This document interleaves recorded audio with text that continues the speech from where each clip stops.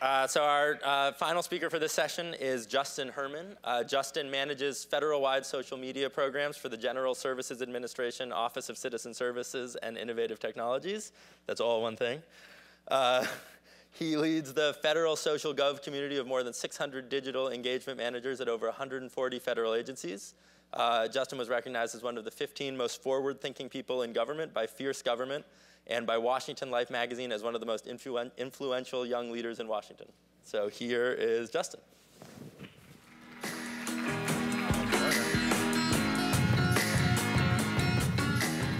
Uh, good morning, everyone. Uh, how's everyone's uh, day going so far?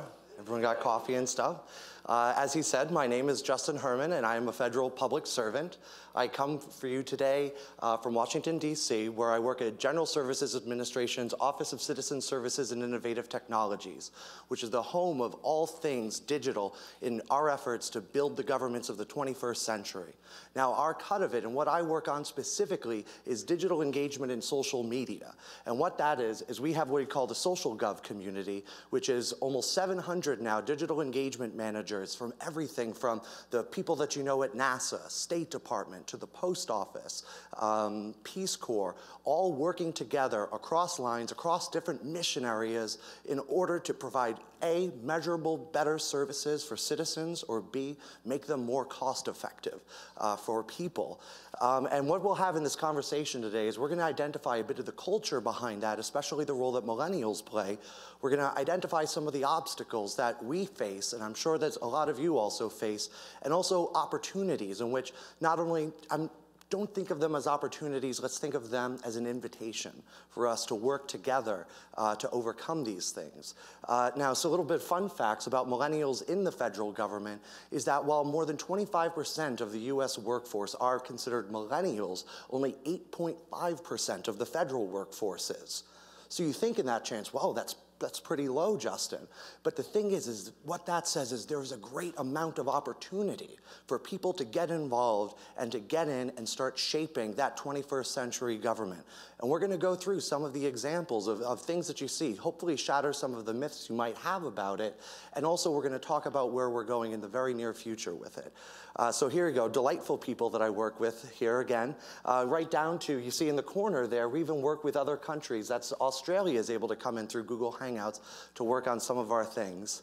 Um, and this kind of like gives you a scope of it. Now, this is when we were meeting and we talked with the President's Office of the Philippines. Now, the people surrounding him, those look like young people. That is not the, so the gentleman in the middle is the uh, spokesman for the President of the Philippines. Those are not his interns. That's the lead digital team for open data for the nation of the Philippines. Uh, and so when we say, what are the opportunities for millennials in public service? There are great leadership roles and the ability to innovate and really create these new services. Because uh, ultimately, oftentimes now you see here we have a Google Hangout that NASA organizes because NASA does a fantastic job with social media, of course, right down to we're able to have Google Hangouts that bring astronauts into, into schools, into programs and things like that. But what you might not know is that we actually use this internally to improve the mechanisms of government itself. And so here we have some of our friends, and I say friends, but they're colleagues, which people from different geographic areas across the United States, different, completely different mission areas of public service, can get together, have FaceTime, talk, have a cup of coffee, and work together once again to tackle those challenges that we have and create new opportunities. Because ultimately, when we look at technology and we look at the millennial generation, technology, data, public service, it is like a palette that we can use to paint this future that we want to have, this shared social good that we all want to get there to. And there are seemingly limitless opportunities in which we can make those dreams happen. However, in public service, specifically in the federal government, of course, there are some things that we have to take extra care for, uh, that we can do, not do things that sometimes even the private sector can do in regards to securing the privacy of citizens, um, like with social media, for instance, we don't delve into personally identifiable information. So when you hear about how marketing companies are able to identify their influencers and find out what they're saying to people, that's actually something we hold back from doing uh, in order to protect the privacy of citizens. Also, security itself can be a grand issue. So once we balance those two things out, what seems like limitless opportunities for young people and millennials to be able to make that government of the 21st century happen, and also we balance it out with some of these well put in obstacles. And ultimately, what we want to do is, of course, the standard way of doing things before, we must change. We call it disruption. Uh, if that term hasn't already been played out too much, is that we must go in and it's not just improving or updating the systems we have, it's rethinking them entirely. Um, sometimes technology is the solution. Most of the times, it's never the tech that it's the solution. It's the ideas and the processes and the performance analysis that comes within each person who brings that into the technology itself. Now, one example of this, of how we go a little bit outside of the box is we have a lot of complex documents in the federal government, contracts, um, regulations, things like that, that we want to make sure is more accessible, available to entrepreneurs, startups, the people who paid for these programs with taxpayer dollars and darn well should be able to receive them where they are. So what we did is we look in, in our field of evaluating all emerging technologies through the internet is we saw Rap Genius. Rap Genius is an annotation wiki that allows people to go in and not change the document itself, but explain the background behind it. The perfect thing if you have a complex regulation that's, for instance, directed at small businesses. So we negotiated a terms of service with and brought the federal government into Rap Genius as well, using the News Genius platform. And so what happened, as you see here, is we're able to now put up complex regulations, policies, things like that, and then specialists are able to go in and in plain language make them more understandable to the people who need them. Now, one of the fun side effects of this, however, is of course when we get culturally of how are these innovations received. This, of course, is in the news that I woke up to with Kanye West, and it's, you know, US government mulls deal with rap genius. Well, you know, we take what we can get uh, on that. But an interesting thing is, on the day this was released, GSA's obscure policy that regarded and focusing on startups and entrepreneurs became the top most popular hip hop artist on Rap Genius, uh, more popular than Kanye West, Beyonce, and Jay Z. And so the thought is, is that by adopting these things, these things that culturally digital natives come to expect, we're able to change the mechanisms of government to make it more available and accessible to the citizens and the people who need them. How many people have ever walked down the street and thought, if zombies showed up, how would I get out of this situation? Raise your hand. If you're not raising your hand, you're lying. Every, I did it this morning walking, and I was like, okay, if zombies take over this place, how am I getting out of here? It's just, it's just how we do things. Well, so the CDC, they, a couple of years ago, they were like, you know, we need people to think about emergency management. What's, you know, what's their uh, emergency plans? Do they have kits, first aid? And so they put out this nice little blog post on preparation, but in the scheme of zombies. And it became then, for $87, what cost taxpayers $87, this entire thing ended up getting 3.6 billion impressions um, and came far and away, just almost like a cultural touchstone for public services and emergency management. Some people still, when I say the CDC, they go, the zombie agency, which I'm, you know, once again, we take what we can get and everything, but it's a fantastic fantastic example of how when you even working with reduced budgets when millennials they bring the creativity the cultural knowledge to be able to connect with citizens that it doesn't take large budgets in order to have more effective, more present public services that are more accessible to people. Even the CIA got in it, because as uh, people saw recently, um, a lot of laughter on that one, which is good, uh, is even the CIA got involved and is now on Twitter and Facebook. And so people just so much responded. Hundreds of thousands of follows in an hour just because it's like the CIA is following our account. We started getting thousands of followers just because the CIA was following us, because that became the touchstone that then people used to explore different areas of public service. Though I'll tell you, it's a little bit weird when you wake up to an alert on your phone that, you know, Roseanne and Spencer Pratt are now following your digital government account. Um, but once again, it's when we use these tools, we're not just using them exactly how the private sector does, we must repurpose them and use them in ways specific to public services. Now, one example that we have now, it's you know it's it's fun and having impressions and retweets and things like that. Something that is we understand culturally in the workspace, but sometimes we have struggles even working with the private sector on this. Is that you look? Most reality television stars are verified on Twitter or on Facebook. Most government accounts, however, are not. And following a fake celebrity on social media is different than following a fake emergency alert or fake verified information when there's a hurricane, or when you need to know and you want to trust that you are looking up your student loan information, or you're a veteran who needs your medical benefits. Because I promised you, there are many fake accounts that exist just to fish and scam millennials using fake social media accounts. So what we did a while ago is built called the Federal Social Media Registry, which is a repository of all official social media accounts in government. We had to take verification in our own hands and make it easier. So once again, while people, it was hard, we were not really getting verification, celebrity culture got balanced out a little bit more, so we thought, okay, we have to come to parity here. We have to find out a solution. So using the API from the registry, uh, which is a data source in order for verification, recently, just two weeks ago, Facebook agreed to now blanket verify all government accounts. And in fact, our team of, this is an office called 18F, if you haven't looked it up at GSA, um, fantastic team of young disruptors who used to, a lot of them used to be presidential innovation fellows. They created this solution, and Facebook, with one click, was able to download a file and in a couple or few hours verify over 1,200 government accounts. Now that's something where, once again, the millennial culture and the output, we were able to make the process easier for Facebook. So it became, they had to at that point go because it's important to us, of course, to ensure that public services are verified and that people can trust when they need it that that's who they're talking to.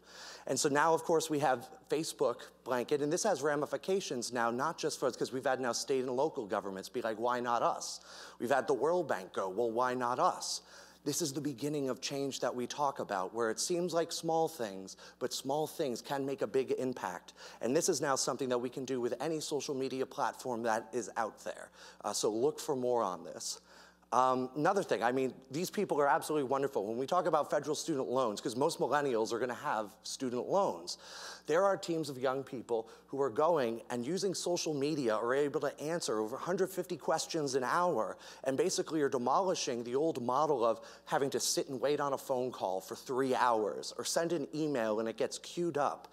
This is more widespread, more instantaneous. You can verify now and you know you're actually talking to the people you want to talk to. And they have used social media to basically to create a customer service powerhouse in both English and Spanish. Uh, and so if you ever want to check out Federal Student Aid, they are a wonderful example of a millennial team that is just absolutely creating a new model for services in government.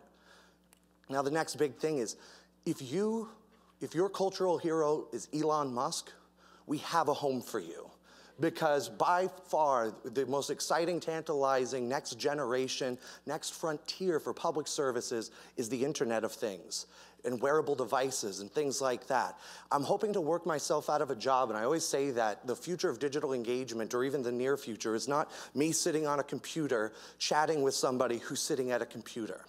It's using that data and opening up data in government and making it responsive where your alerts come through your car. It comes through your home devices. It comes through your wearable watches and things like that.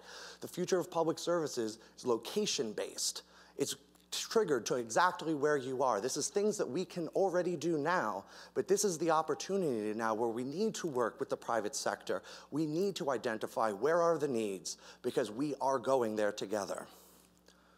Also, while we're racing to embrace these emerging technologies that seem limitless, one of the things that we know and is an underpinning is that many of these tools are not designed in such a way always that are accessible to persons with disabilities. Now, when the president said during Hurricane Sandy, if the power goes out, go to social media for your emergency information, that works only if the information is available and usable by the very citizens who often need it the most. And that's why we champion now working with the private sector, flying people out to the Valley to be able to teach them more about the importance and the need for accessibility in these programs. Um, maybe that's going to be through wearable devices more. Perhaps that's breaking down data and making it more citizen-centric delivery of it. We don't know exactly, which is why we invite you to work with us on this. But this is the type of thing that you don't often hear about, but now it makes sense a little bit, I hope, because when you talk about persons with disabilities, it's not just the vision impaired, it's not just the hearing impaired, it's the aging population, it's wounded warriors.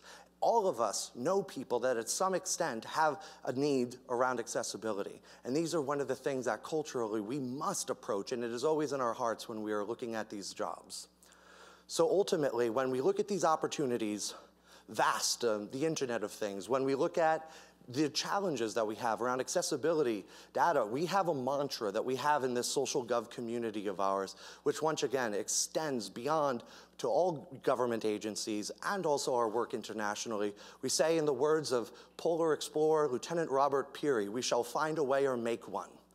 And perhaps traditionally, back there was things of our government agencies working together. Are we meaningfully sharing? Are we just spinning wheels?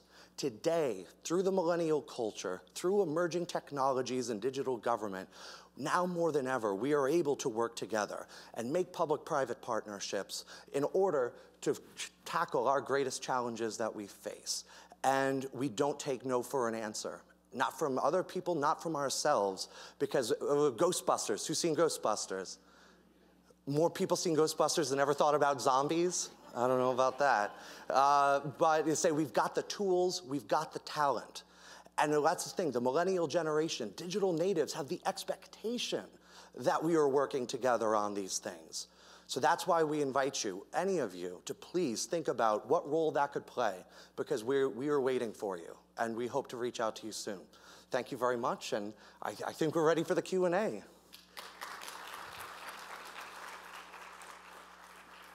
we go.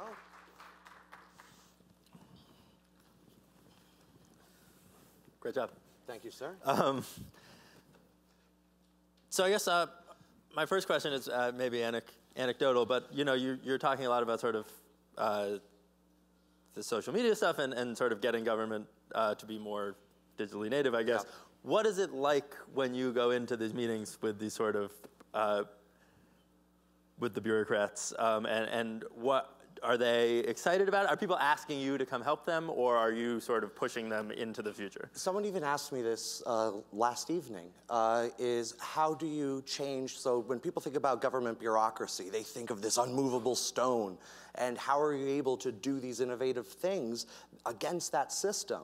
And what it comes down to it is that, once again, we drive home that it's either has to measurably improve services or measurably reduce costs.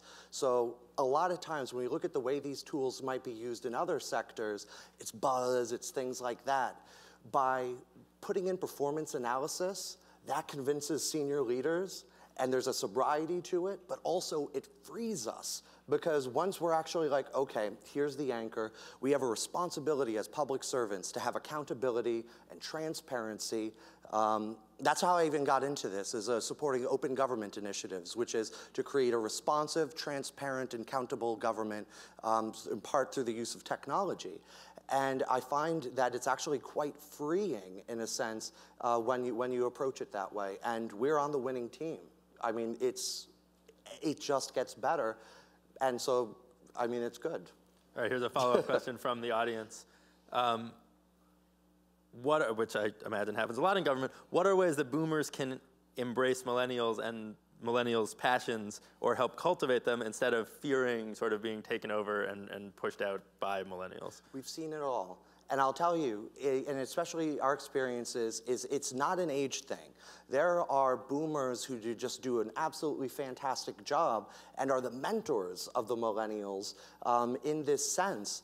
Uh, and so definitely the boomers, they're not right now currently in a lot of those leadership positions. And we see less and less the gut reaction of, let's not do this because of fear of the unknown or something like that. We're really trying to embrace the culture of, I mean, there's a poster in office, you know, break things fast uh, and, and, move forward on it. And that's really what we're trying to espouse. Um, let's take another one from the audience. Uh, you, you mentioned a little about sort of uh, the sort of opportunities for millennials to work in the government. Yes. Um, but with most companies seeking millennials for their workforces, sort of how does the government compete with that to get them? Well, I'll tell you, uh, studies show that uh, the government is one of the top three fields that people identify um, when they're coming out of college of what they'd like to work in. I'll tell you, we know that there's a challenge with the hiring processes and things like that. I mean, it was painful for me applying for my job. Um, but those are the, one of the things we're improving right now. And that's what we would say to anybody is that whether through the Presidential Innovation Fellows Program, um, 18F, GSA, there are more job openings now um, in digital government um, than I've seen before. Um, and it's rife with opportunity. In fact, I, the challenge is now, I think, shifted from in government having trouble getting resources to have these roles open, and now just finding enough quality candidates. Um, like I said, so the, the, the, positions are open, the need is there. We need people to know that need and, you know, like I said, have that entrepreneurial spirit and bring that into public service. Um, so you talked a lot, you did a lot of great examples about um, sort of digital government and, and like where it's working. Where do you think it's, where do you think it's not working and sort of where, where do you think it can go and, and get better and what is preventing you from doing that?